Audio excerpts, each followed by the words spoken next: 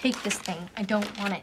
What if you're with a guy and you wanted to get you one? That won't happen because I'm not having sex until I'm married, and I would never marry someone who wanted to own something like that.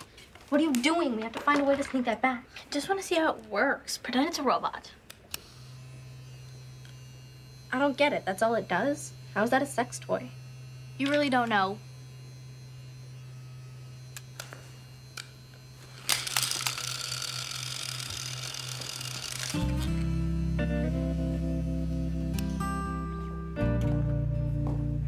Does this belong to you?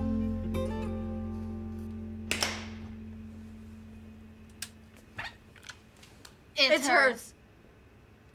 Do you have one of these? Alli.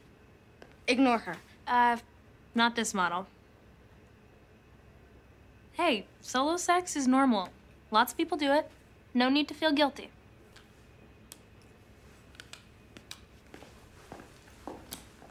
Have you ever, you know? However, what?